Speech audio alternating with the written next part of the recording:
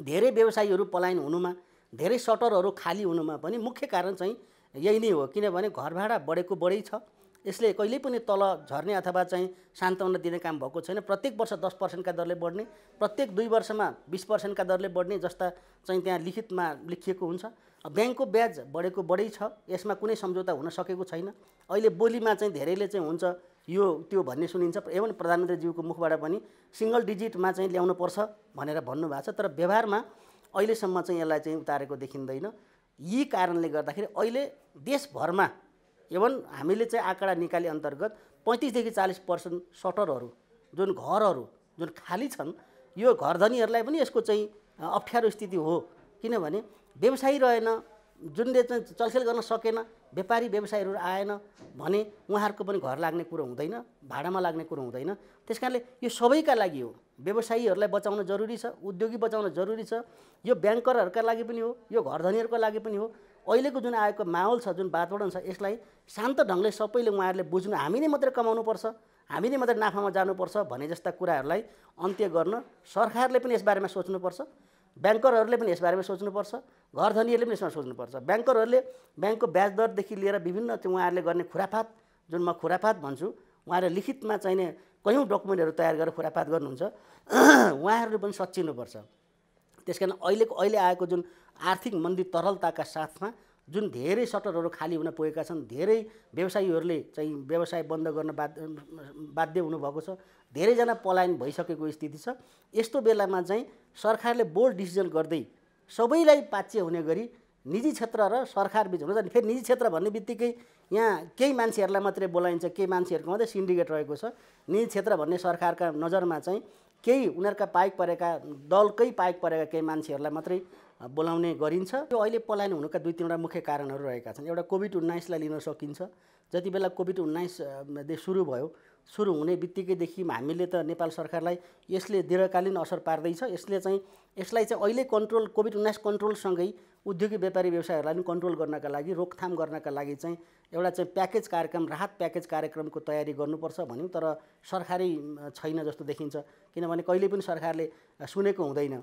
निजी क्षेत्र भनेर केही मान्छेलाई बोलाउँछ जुन five star hotel three star होटलमा गफ गफ हुन्छन्। अब त्यहाँ चाहिँ वास्तविक उद्योगी र वास्तविक व्यवसायी भन्नेलाई चाहिँ त्यहाँ पुगेको हुँदैन। बिस्तारै बिस्तारै बिस्तारै जुन अहिले आर्थिक मन्दी तरलता जुन भयो जुन केही सिन केही वर्गले चाहिँ अर्थतन्त्रलाई कभर गर्न कोसिस गर्यो लगाम लाउने कोसिस गर्यो यो लगाम लाउने कोसिस गर्यो भन्छु मैले। नेपालको सन्दर्भमा चाहिँ अर्थतन्त्र जुन धराशायी बन्नु तरलता हुनु तल्लो ग्रास लेभलमा पैसा नहुनु रोजगारहरू गुम्नु र केही मान्छेहरूले चाहिँ उ गर्नुमा के हुनुमा अहिले चाहिँ आत्महत्या गर्नुमा चाहिँ यो केही मान्छेहरूको हात छ। मैले त सत्तरीदेखि असीजना भन्छु होइन मोटामोटी सयजनाको फेरि जुन मान्छेहरू छन् ती मान्छेहरूले चाहिँ मुलुक चलाइरहेका छन्। तिनकै हातमा ब्याङ्क छ तिनकै हातमा लघुवित्त छ तिनकै हातमा चाहिँ इन्सुरेन्स कम्पनीहरू छन् तिनकै हातमा ठुला उद्योगहरू छन् तिनले नै राजनीतिक दल र सरकारलाई मुठीमा राखेका छन्। त्यस्ता मान्छेहरूले नै अहिले तल भएको साना वर्गलाई चाहिँ कब्जा गर्न खोज्दाखेरि अहिले आएको परिस्थिति हो। अहिलेको जुन घर भाडा सम्बन्धी हामीले वैज्ञानिक घर भाडा लागू गर्नुपर्छ भनेर आजभन्दा कयौँ दस वर्ष अगाडि अगाडिदेखि नै हामीले एउटा प्रेसरको रूपमा इस्युको रूपमा राख्दै आयौँ। तर नेपाल सरकारले यसलाई स्थानीय सरकारमा हस्तान्तरण गर्यो र घर भाडा सम्बन्धी ऐन छुट्टै किसिमको चाहिँ स्थानीय सरकारले बनाउन पाउने जस्ता कुराहरूलाई चाहिँ हस्तान्तरण गरेर ल्यायो। र यसले यसले चाहिँ अझै झन् चाहिँ व्यवसायी उद्योगीहरूलाई चाहिँ मारमा परेको छ। हामीले यसमा चाहिँ के मात्रै भन्दै आएका छौँ भने अहिलेको मुख्य कारण भनेको चाहिँ घर भाडा सम्बन्धी सही ऐन नहुनु सही ढङ्गको चाहिँ त्यसमा चाहिँ वैज्ञानिक रूपमा चाहिँ परिचालन नहुनु करोड रुपियाँ लगानी गरेर होटल खोल्छ अथवा सटरमा लगानी गर्छ अथवा उसले एउटा कुनै व्यवसाय सञ्चालन गर्छ अथवा उद्योग सञ्चालन गर्छ भने उसको चाहिँ ल उसको चाहिँ आयु कति भन्दा पैँतिस दिने हो। घरभित्रले चाहुन्जेलसम्म मात्रै हो। त्यस कारण त्यस त्यो सम्झौतालाई चाहिँ कम्तीमा पाँच वर्ष तिन वर्ष चार वर्षसम्म उसलाई निकाल्न नपाउने कम्तीमा एक वर्ष अगाडि भन्दा बोल्न के त्यसलाई निकाल्न नपाउने जस्तो कुराहरूलाई हामीले चाहिँ मध्य हामीले चाहिँ भनेका छौँ।